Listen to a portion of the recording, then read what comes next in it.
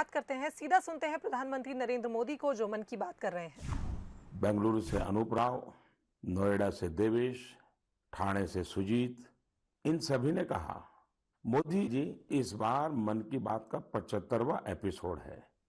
इसके लिए आपको बधाई।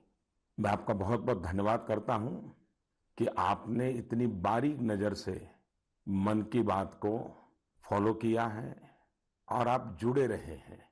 ये मेरे लिए बहुत ही गर्व का विषय है, आनंद का विषय है। मेरी तरफ़ से भी आपका तो धन्यवाद है ही है। मन की बात के सभी श्रोताओं का आभार व्यक्त करता हूँ, क्योंकि आपके साथ के बिना ये सफ़र संभव ही नहीं था। ऐसा लगता है, मानो ये कल की ही बात हो, जब हम सभी ने एक साथ मिलकर ये वैचारिक यात्रा शुरू की थी। तब 3 अक्टूबर 2014 को विजयादशमी का पावन पर्व था। और संयोग देखिए कि आज होलिका दहन है। एक दीप से झले दूसरा और राष्ट्र रोशन हो हमारा। इस भावना पर चलते चलते हमने ये रास्ता तय किया है। हम लोगों ने देश के कोने कोने से लोगों से बात की और उनके असाधारण कार्यों के बारे में जाना। आपने भी अनुभव किया होगा। हमारे देश के दूर दराज के कोनों में भी कितनी अभूतपूर्व क्षमता पड़ी हुई है। भारत माँ की गोद में कैसे कैसे रत्न पल रहे हैं, ये अपने आप में भी एक समाज के प्रति देखने का, समाज को जानने का समाज के सामर्थ्य को पहचानने का मेरे लिए तो एक अद्भुत अनुभव रहा है। इन 75 एपिसोड्स के दौरान कितने कितने विषयों से गुजरना हुआ? कभी नदी की बात तो कभी हिमालय की चोटियों की बात तो कभी रेगिस्तान की बात, कभी प्राकृतिक आपदा की बात तो कभी मानव सेवा की अनगिनत कथाओं की अनुभूति, कभी टेक्नोलॉजी का आविष्कार। तो कभी किसी अनजान कोने में कुछ नया कर दिखाने वाले किसी के अनुभव की कथा, अब आप देखिए, चाहे स्वच्छता की बात हो, चाहे हमारे हेरिटेज को संभालने की चर्चा हो, अरे इतना ही नहीं, खिलौने बनाने की बात हो, क्या कुछ नहीं था। शायद कितने विषयों को हमने स्पर्श किया है तो वो भी शायद अनगिनत हो जाएँगे। इस दौरान हमने समय समय पर महान विभूतियों को श्रद्धांजलि दी, उनके बारे में जाना, जिन्होंने भारत के निर्माण में अतुलनीय योगदान दिया है। हम लोगों ने कई वैश्विक मुद्दों पर भी बात की, उनसे प्रेरणा लेने की कोशिश की है। कई बातें आपने मुझे बताई, कई आइडियाज़ दिए। एक प्रकार से इस विचार यात्रा में आप साथ साथ चलते रहे, जुड़ते रहे और कुछ न कुछ नया जोड़ते भी रहे। मैं आज इस पचहत्तरवें एपिसोड के समय सबसे पहले मन की बात को सफल बनाने के लिए, समृद्ध बनाने के लिए और इससे जुड़े रहने के लिए हर श्रोता का बहुत बहुत आभार व्यक्त करता हूँ। मेरे प्यारे देशवासियों, देखिए कितना बड़ा सुखद संयोग है। आज मुझे पचहत्तरवीं मन की बात करने का अवसर और यही महीना आज़ादी के 75 साल के अमृत महोत्सव के आरंभ का महीना। अमृत महोत्सव दांडी यात्रा के दिन से शुरू हुआ था और 15 अगस्त 2023 तक चलेगा। अमृत महोत्सव से जुड़े कार्यक्रम पूरे देश में लगातार हो रहे हैं। अलग अलग जगहों से इन कार्यक्रमों की तस्वीरें, जानकारियाँ लोग शेयर कर रहे हैं। नमो ऐप पर ऐसी ही कुछ तस्वीरों के साथ साथ झारखंड के नवीन ने मुझे एक संदेश भेजा है। उन्होंने लिखा है कि उन्होंने अमृत महोत्सव के कार्यक्रम देखे और तय किया कि वो भी स्वाधीनता संग्राम से जुड़े कम से कम दस स्थानों पर जाएँगे। उनकी लिस्ट में पहला नाम भगवान बिरसा मुंडा के जन्म स्थान का है। नवीन ने लिखा है कि झारखंड के आदिवासी स्वतंत्रता सेनानियों की कहानियाँ वो देश के दूसरे हिस्सों में पहुंचाएँगे। भाई नवीन, आपकी इस सोच के लिए मैं आपको बधाई देता हूँ। साथियों किसी स्वाधीनता सेनानी की संघर्ष गाथा हो, किसी स्थान का इतिहास हो, देश की कोई सांस्कृतिक कहानी हो, अमृत महोत्सव के दौरान आप उसे देश के सामने ला सकते हैं। देशवासियों को उससे जोड़ने का माध्यम बन सकते हैं। आप देखिएगा, देखते ही देखते अमृत महोत्सव, ऐसे कितने ही प्रेरणादायी अमृत बिंदुओं से भर जाएगा। और फिर ऐसी अमृत धारा बहेगी जो हमें भारत की आज़ादी के सौ वर्ष तक प्रेरणा देगी। देश को नई ऊंचाई पर ले जाएगी, कुछ न कुछ करने का जज्बा पैदा करेगी। आज़ादी की लड़ाई में हमारे सेनानियों ने कितने ही कष्ट इसलिए सहे क्योंकि वो देश के लिए त्याग और बलिदान को अपना कर्तव्य समझते थे। उनके त्याग और बलिदान की अमर गाथाएँ अब हमें सतत कर्तव्य पथ के लिए प्रेरित करें। और जैसे गीता में भगवान कृष्ण ने कहा है, नियतम कुरु कर्म त्वम कर्म ज्यायो हकर्मण। उसी भाव के साथ हम सब अपने नियत कर्तव्यों का पूरी निष्ठा से पालन करें। और आज़ादी का अमृत महोत्सव का मतलब यही है कि हम नए संकल्प करें। उन संकल्पों को सिद्ध करने के लिए जी जान से जुट जाएँ। और संकल्प वो हो जो समाज की भलाई के हो, देश की भलाई के हो, भारत के उज्जवल भविष्य के लिए हो। और संकल्प वो हो जिसमें मेरा अपना स्वयं का कुछ न कुछ जिम्मा हो, मेरा अपना कर्तव्य जुड़ा हुआ हो। मुझे विश्वास है, गीता को जीने का ये सुवर्ण अवसर हम लोगों के पास है। मेरे प्यारे देशवासियों पिछले वर्ष ये मार्च का ही महीना था। देश ने पहली बार जनता कर्फ्यू शब्द सुना था। लेकिन इस महान देश की महान प्रजा की महाशक्ति का अनुभव देखिए, जनता कर्फ्यू पूरे विश्व के लिए एक अचरज बन गया था। अनुशासन का ये अभूतपूर्व उदाहरण था। आने वाली पीढ़ियाँ इस एक बात को लेकर के ज़रूर गर्व करेगी। उसी प्रकार से हमारे कोरोना वॉरियर्स के प्रति सम्मान, आदर, थाली बजाना, ताली बजाना, दिया जलाना, आपको अंदाज नहीं है कोरोना वॉरियर्स के दिल को कितना छू गया था वो। और वही तो कारण है जो पूरी साल भर वे बिना थके, बिना रुके, डटे रहे देश के एक एक नागरिक की जान बचाने के लिए जी जान से जूझते रहे। पिछले साल इस समय सवाल था कि कोरोना की वैक्सीन कब तक आएगी। साथियों, हम सबके लिए गर्व की बात है कि आज भारत दुनिया का सबसे बड़ा वैक्सीनेशन प्रोग्राम चला रहा है। वैक्सीनेशन प्रोग्राम के तस्वीरों के बारे में मुझे भुवनेश्वर के पुष्पा शुक्ला जी ने लिखा है। उनका कहना है कि घर के बड़े बुज़ुर्गों में वैक्सीन को लेकर जो उत्साह दिख रहा है, उसकी चर्चा मैं मन की बात में करूँ। साथियों, सही भी है।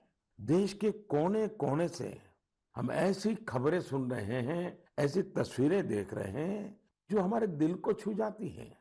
यूपी के जौनपुर में 109 वर्ष की बुज़ुर्ग माँ राम दुलिया जी ने टीका लगवाया है। ऐसे ही दिल्ली में भी 107 साल के केवल कृष्ण जी ने वैक्सीन की डोज ली है। हैदराबाद में 100 साल के जय चौधरी जी ने वैक्सीन लगवाई और सभी से अपील भी है कि वैक्सीन ज़रूर लगवाएँ। मैं ट्विटर फेसबुक पर भी ये देख रहा हूँ कि कैसे लोग अपने घर के बुज़ुर्गों को वैक्सीन लगवाने के बाद उनकी फ़ोटो अपलोड कर रहे हैं। केरल से एक युवा, आनंद नायर ने तो इसे एक नया शब्द दिया है, वैक्सीन सेवा। ऐसे ही संदेश दिल्ली से शिवानी, हिमाचल से हिमांशु और दूसरे कई युवाओं ने भी भेजे हैं। मैं आप सभी श्रोताओं के इन विचारों की सराहना करता हूँ। इन सब के बीच कोरोना से लड़ाई का मंत्र भी ज़रूर याद रखिए। दवाई भी, कड़ाई भी। और सिर्फ़ मुझे बोलना ऐसा नहीं, हमें जीना भी है, बोलना भी है, बताना भी है और लोगों को भी दवाई भी, कड़ाई भी इसके लिए प्रतिबद्ध बनाते रहना है। मेरे प्यारे देशवासियों मुझे आज इंदौर की रहने वाली सौम्या जी का धन्यवाद करना है। उन्होंने एक विषय के बारे में मेरा ध्यान आकर्षित किया है और इसका ज़िक्र मन की बात में करने के लिए कहा है। ये विषय है भारत की क्रिकेटर मिताली राज जी का नया रिकॉर्ड। मिताली जी, हाल ही में अंतर्राष्ट्रीय क्रिकेट में दस हज़ार रन बनाने वाली पहली भारतीय महिला क्रिकेटर बनी है। उनकी इस उपलब्धि पर बहुत बहुत बधाई। वनडे इंटरनेशनल में सात हज़ार रन बनाने वाली भी वो अकेली अंतर्राष्ट्रीय महिला खिलाड़ी है। महिला क्रिकेट के क्षेत्र में उनका योगदान बहुत शानदार है। दो दशकों से ज़्यादा के कैरियर में मिताली राज जी ने हज़ारों लाखों को प्रेरित किया है। उनके कठोर परिश्रम और सफलता की कहानी न सिर्फ़ महिला क्रिकेटरों, बल्कि पुरुष क्रिकेटरों के लिए भी एक प्रेरणा है। साथियों, ये दिलचस्प है, इसी मार्च महीने में जब हम महिला दिवस सेलिब्रेट कर रहे थे, तब कई महिला खिलाड़ियों ने मेडल्स और रिकॉर्ड्स अपने नाम किए हैं। दिल्ली में आयोजित शूटिंग में आईएसएसएफ वर्ल्ड कप में भारत शीर्ष स्थान पर रहा। गोल्ड मेडल की संख्या के मामले में भी भारत ने बाजी मारी।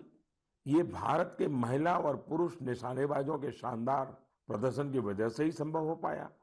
इस बीच पीवी सिंधु जी ने BWF Swiss Open super 300 tournament में सिल्वर मेडल जीता है। आज एजुकेशन से लेकर एंटरप्रेन्योरशिप तक आर्म फोर्सेस से लेकर साइंस एंड टेक्नोलॉजी तक हर जगह देश की बेटियाँ अपनी अलग पहचान बना रही हैं। मुझे विशेष खुशी इस बात से है कि बेटियाँ खेलों में अपना एक नया मुकाम बना रही हैं। प्रोफेशनल चॉइस के रूप में स्पोर्ट्स एक पसंद बनकर उभर रहा है। मेरे प्यारे देशवासियों, कुछ समय पहले हुई मैरीटाइम इंडिया समिट आपको याद है ना? इस समिट में मैंने क्या कहा था? क्या ये आपको याद है? स्वाभाविक है। इतने कार्यक्रम होते रहते हैं, इतनी बातें होती रहती हैं, हर बात कहाँ याद रहती है? और उतना ध्यान भी कहाँ जाता है? स्वाभाविक है।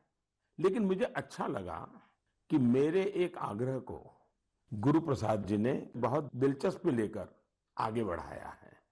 मैंने इस समिट में देश के लाइट हाउस कॉम्प्लेक्सेस के आसपास टूरिज़्म फैसिलिटीज़ विकसित करने के बारे में बात की थी। गुरु प्रसाद जी ने तमिलनाडु के दो लाइट हाउसों, चेन्नई लाइट हाउस और महाबलीपुरम लाइट हाउस की 2019 की अपनी यात्रा के अनुभवों को साझा किया है। उन्होंने बहुत ही रोचक फैक्ट शेयर किए हैं, जो मन की बात सुनने वालों को भी हैरान करेंगे।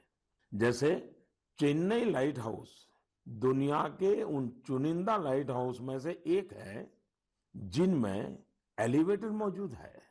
यही नहीं, भारत का यह इकलौता लाइट हाउस है जो शहर की सीमा के अंदर स्थित है। इसमें बिजली के लिए सोलार पैनल भी लगे हैं। गुरु प्रसाद जी ने लाइट हाउस के हेरिटेज म्यूज़ियम के बारे में भी बात की, जो मरीन नेविगेशन के इतिहास को सामने लाता है। म्यूज़ियम में तेल से जलने वाली बड़ी बड़ी बत्तियाँ, कैरोसिन लाइट्स पेट्रोलियम वेपर और पुराने समय में प्रयोग होने वाले बिजली के लैंप प्रदर्शित किए गए हैं।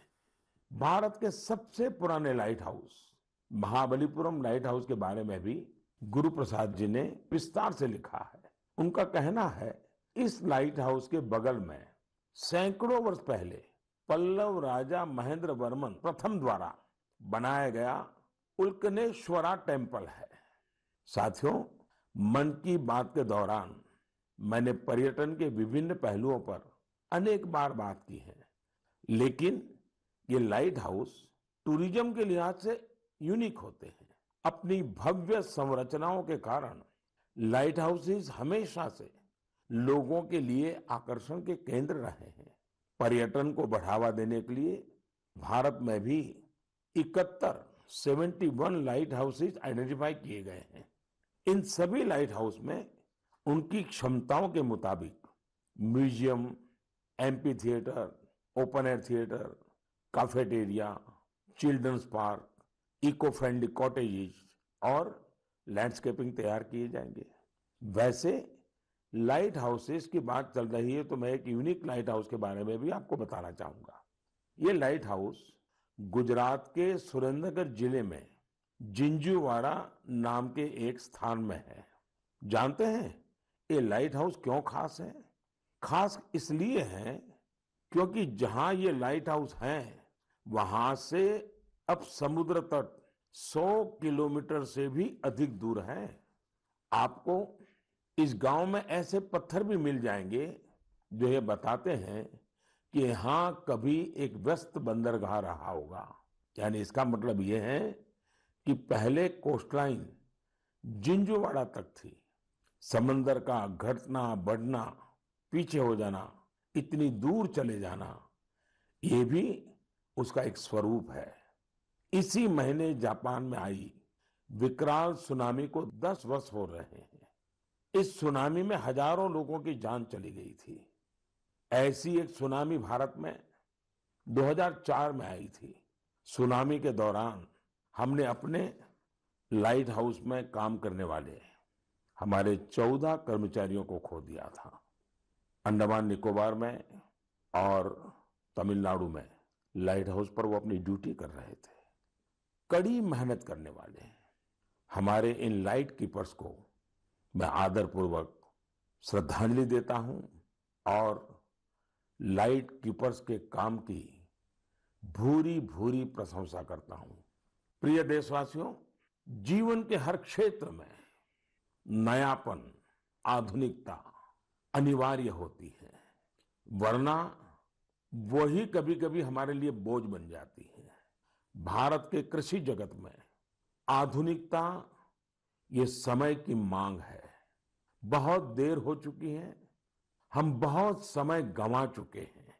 एग्रीकल्चर सेक्टर में रोज़गार के नए अवसर पैदा करने के लिए, किसानों की आय बढ़ाने के लिए, परंपरागत कृषि के साथ ही नए विकल्पों को नए नए इनोवेशंस को अपनाना भी उतना ही ज़रूरी है।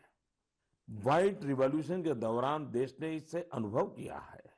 अब बी फ़ार्मिंग भी ऐसा ही एक विकल्प बनकर के उभर रहा है। बी फ़ार्मिंग देश में शहद क्रांति या स्वीट रिवॉल्यूशन का आधार बना रही है। बड़ी संख्या में किसान इससे जुड़ रहे हैं इनोवेशन कर रहे हैं। जैसे कि पश्चिम बंगाल के दार्जिलिंग में एक गाँव है, गुरदुम। पहाड़ों की इतनी ऊंचाई, भौगोलिक दिक्कतें, लेकिन यहाँ के लोगों ने हनी बी फ़ार्मिंग का काम शुरू किया। और आज इस जगह पर बने शहद की, मधु की अच्छी मांग हो रही है। इससे किसानों की आमदनी भी बढ़ रही है। पश्चिम बंगाल के ही सुंदरबन इलाकों का प्राकृतिक ऑर्गेनिक हनी तो देश, दुनिया में पसंद किया जाता है। ऐसा ही एक व्यक्तिगत अनुभव मुझे गुजरात का भी है। गुजरात के बनासकांठा में बस 2016 में एक आयोजन हुआ था। उस कार्यक्रम में मैंने लोगों से कहा यहाँ इतनी संभावनाएँ हैं, क्यों न बनासकांठा और हमारे यहाँ के किसान स्वीट रिवॉल्यूशन का नया अध्याय लिखे। आपको जानकर खुशी होगी, इतने कम समय में बनासकांठा शहद उत्पादन का प्रमुख केंद्र बन गया है।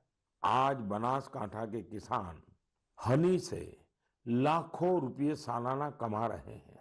ऐसा ही एक उदाहरण हरियाणा के यमुनानगर का भी है। यमुनानगर में किसान बी फ़ार्मिंग करके सालाना कई सौ टन शहद पैदा कर रहे हैं, अपनी आय बढ़ा रहे हैं। किसानों की इस मेहनत का परिणाम है कि देश में शहद का उत्पादन लगातार बढ़ रहा है और सालाना करीब सवा लाख टन पहुँचा है। इसमें से बड़ी मात्रा में शहद विदेशों में निर्यात भी हो रहा है। साथियों, हनी बी फ़ार्मिंग में केवल शहद से ही आय नहीं होती, बल्कि बी वैक्स भी आय का एक बहुत बड़ा माध्यम है। Pharma industry food industry textile और कॉस्मेटिक इंडस्ट्री हर जगह बी वैक्स की डिमांड है। हमारा देश फ़िलहाल बी वैक्स का आयात करता है, लेकिन हमारे किसान अब ये स्थिति तेज़ी से बदल रहे हैं। यानी एक तरह से आत्मनिर्भर भारत अभियान में मदद कर रहे हैं। आज तो पूरी दुनिया आयुर्वेद और नेचुरल हेल्थ प्रोडक्ट्स की ओर देख रही है। ऐसे में हनी की मांग और भी तेज़ी से बढ़ रही है। मैं चाहता हूँ देश के ज़्यादा से ज़्यादा किसान अपनी खेती के साथ साथ बी फ़ार्मिंग से भी जुड़े। ये किसानों की आय भी बढ़ाएगा और उनके जीवन में मिठास भी घोलेगा। मेरे प्यारे देशवासियों, अभी कुछ दिन पहले वर्ल्ड स्पैरो डे मनाया गया। स्पैरो यानी गोरैया। कहीं इसे चकली बोलते हैं, कहीं चिमनी बोलते हैं, कहीं घौन चिरिका कहा जाता है। पहले हमारे घरों की दीवारों पर, आसपास के पेड़ों पर गोरैया चहकती रहती थी। लेकिन अब लोग गोरैया को ये कहकर याद करते हैं कि पिछली बार, बरसों पहले, गोरैया देखा था। आज इसे बचाने के लिए हमें प्रयास करने पड़ रहे हैं। मेरे बनारस के एक साथी, इंद्रपाल सिंह बत्रा जी ने ऐसा काम किया है, जिसे मैं मन की बात के श्रोताओं को ज़रूर बताना चाहता हूँ। बत्रा जी ने अपने घर को ही गोरैया का आशियाना बना दिया है। इन्होंने अपने घर में लकड़ी के ऐसे घोंसले बनवाए जिनमें गोरैया आसानी से रह सके। आज बनारस के कई घर इस मुहिम से जुड़ रहे हैं। इससे इन घरों में एक अद्भुत प्राकृतिक वातावरण भी बन गया है। मैं चाहूँगा प्रकृति, पर्यावरण, प्राणी, पक्षी जिनके लिए भी बन सके कम ज़्यादा प्रयास हमें भी करने चाहिए। जैसे एक साथी है विजय कुमार काबी जी। विजय जी उड़ीसा के केंद्रपाड़ा के रहने वाले हैं। केंद्रपाड़ा समुद्र के किनारे हैं। इसलिए इस ज़िले के कई गाँव ऐसे हैं जिन पर समुद्र की ऊँची लहरों और साइक्लोन का खतरा रहता है। इससे कई बार बहुत नुकसान भी होता है। विजय जी ने महसूस किया कि अगर इस प्राकृतिक तबाही को कोई रोक सकता है तो वो प्रकृति ही रोक सकती है। फिर क्या था? विजय जी ने बड़ा कोट गाँव से अपना मिशन शुरू किया। उन्होंने 12 साल, साथियों 12 साल मेहनत करके गाँव के बाहर समुद्री की तरफ़ 25 एकड़ का मैंग्रोव जंगल खड़ा कर दिया। आज ये जंगल इस गाँव की सुरक्षा कर रहा है। ऐसा ही काम ओडिशा के ही पारादीप ज़िले में एक इंजीनियर अमरेश सामंती जी ने किया है। अमरेश जी ने छोटे छोटे जंगल लगाए हैं, जिनसे आज कई गाँवों का बचाव हो रहा है। साथियों, इस तरह के कामों में अगर हम समाज को साथ जोड़ लें तो बड़े परिणाम आते हैं। जैसे तमिलनाडु के कोयम्बटूर में बस कंडक्टर का काम करने वाले मरीमुथु योगनाथन जी हैं। योगनाथन जी अपनी बस के यात्रियों को टिकट देते हैं तो साथ में ही एक पौधा भी मुफ़्त देते हैं। इस तरह योगनाथन जी न जाने कितने ही पेड़ लगवा चुके हैं। योगनाथन जी अपने वेतन का काफ़ी हिस्सा इसी काम में खर्च करते आ रहे हैं। अब इसको सुनने के बाद ऐसा कौन नागरिक होगा जो मरी मरीमुथु योगनाथन जी के काम की प्रशंसा न करे? मैं हृदय से उनके इस प्रयासों को बहुत बधाई देता हूँ, उनके इस प्रेरक कार्य के लिए। मेरे प्यारे देशवासियों वेस्ट से वेल्थ यानी कचरे से कंचन बनाने के बारे में हम सबने देखा भी है, सुना भी है, और हम भी औरों को बताते रहते हैं। कुछ उसी प्रकार से वेस्ट को वैल्यू में बदलना का भी काम किया जा रहा है। ऐसा ही एक उदाहरण केरल के कोच्चि के सेंट टेरेसा कॉलेज का है। मुझे याद है कि 2017 में मैं इस कॉलेज के कैंपस में एक बुक रीडिंग पर आधारित कार्यक्रम में शामिल हुआ था। इस कॉलेज के स्टूडेंट्स रीयूजेबल टॉयज बना रहे हैं। वो भी बहुत ही क्रिएटिव तरीके से। ये स्टूडेंट्स तो पीएम मोदी के मन की बात की 75वां संस्करण हम सभी सुन रहे थे। कई विषयों को समाहित कर पीएम मोदी संबोधन